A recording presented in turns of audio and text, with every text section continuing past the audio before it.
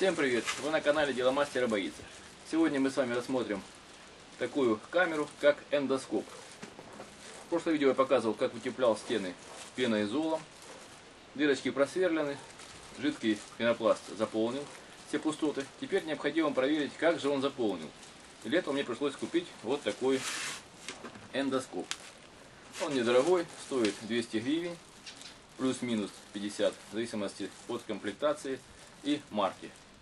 И так посмотрим, как он работает. Эта вещь очень хорошо понадобится автолюбителям для того, чтобы проверять поршневую систему двигателя. Понадобится такая вещь сантехникам. Можно посмотреть, где засор в трубе канализации и его устранить.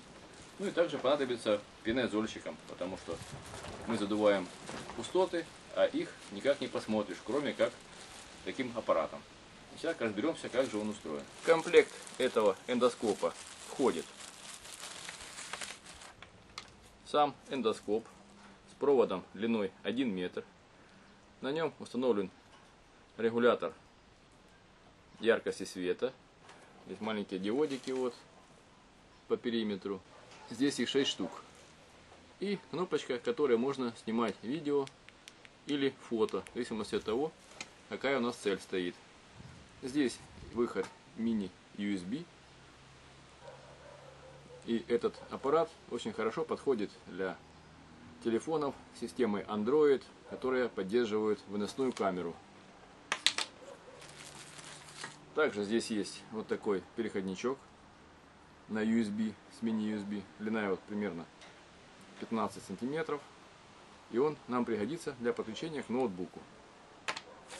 В комплекте идет инструкция на китайском языке.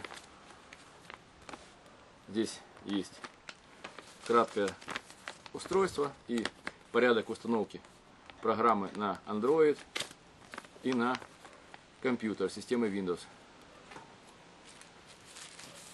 Идет в комплекте программа для Android и для компьютера. И также есть небольшие аксессуары. Это маленькое зеркальце угловое. Мы сможем, мы будем им пользоваться сегодня для того, чтобы увидеть полость под стеной. Идет обжим такой, который одевается на камеру для удобства фиксации. И две такие, два крючочка. Один с магнитной вставочкой. Это скорее всего для того, чтобы доставать всевозможные мелкие вещи, которые провалились в пустоту. И мы не можем их достать по-нормальному. Я сегодня буду устанавливать этот эндоскоп на ноутбук, потому что мой Android пока не поддерживает выносную камеру. Поэтому нам понадобится в первую очередь ноутбук с системой Windows. Для начала подключаем этот переходничок к мини-USB, камеры. Заходит довольно плотно и без люфта. Теперь подключаем эндоскоп к USB выходу ноутбука в таком ракурсе. И после этого наш ноутбук начинает устанавливать драйвера. Определяется как USB 2.0 PC камера. Драйверы установились и готовы к использованию. Следующим этапом будет установка программы, которая находится на этом мини-диске, которая называется VF Play Cup. Это для компьютера. Также есть вариант для Android телефона AN97 APK. На диске есть две, два файла, autorun и setup. Запускаем setup, accept, экстракт. И начинается установка программы. Поищем на рабочем столе вот эту программу. VF Play Cup. Открываем. Вот, включилась моя стандартная камера. Меню программы на английском языке. Судя по опциям, здесь больше других языков нет. Нам необходимо выбрать камеру, которая у нас показывает. Вот появилась вторая камера, наша. Включаем ее. И вот, уже начало появляться изображение с этой камеры. Здесь можно выбрать формат. Максимальный 640 на 480. Ну, этого вполне хватит для того, чтобы определиться с пустотой, что находится внутри. Также здесь можно попробовать включить свет, подсветку рычажком, специальным джойстиком. Вот он регулируется до максимума и до минимума. При работе на максимуме чувствуется, как нагревается камера от работы светодиодов. Также можно попробовать сделать снимок чего-либо. Вот появился снимок уже при нажатии этой кнопочки. Камера имеет направленность. И вот при вращении камеры крутится изображение. Вот такие снимки получаются. Камера протестирована. Теперь проверим ее непосредственно на стене, которую задували пеной изолом. И посмотрим, как же оно задулось. Для этого используем маленькое зеркальце боковое, на котором есть пленочка. Ее необходимо снять, чтобы не было мутного изображения. Удаляем пленочку на зеркальце с помощью пинцета, стараясь не поцарапать зеркало.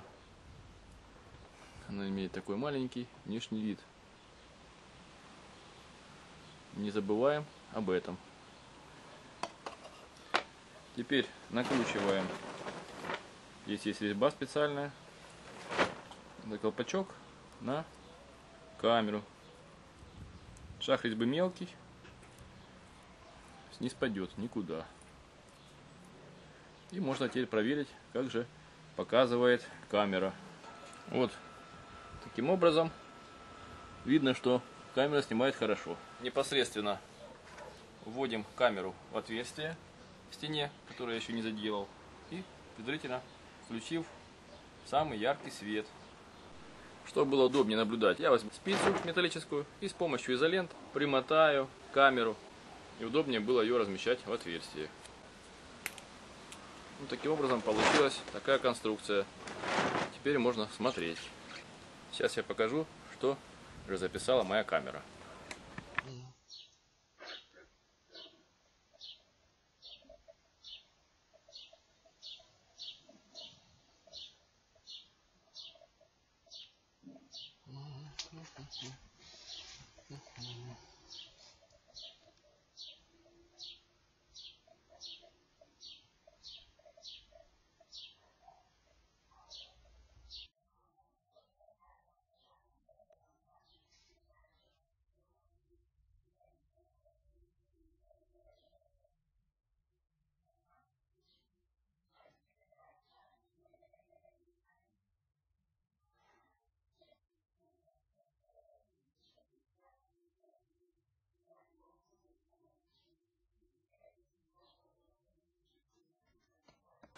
Ну вот, такое небольшое приспособление помогло мне развеять сомнения об утеплении своих стен.